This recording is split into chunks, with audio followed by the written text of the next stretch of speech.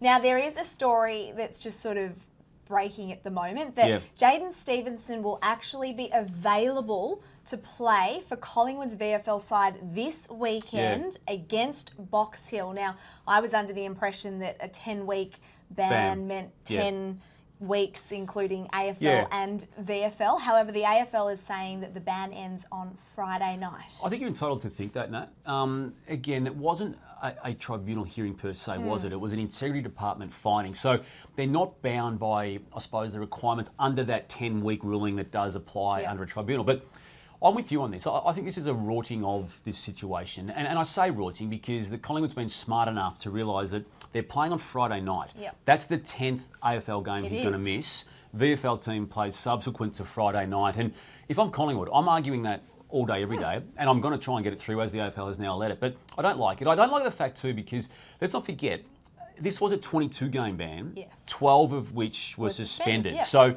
if you want to take that into it as well, I think it's a double rorting of, of this ban. And um, I don't like it. I, I don't think it passes the, the smell test. Yeah, I certainly think it.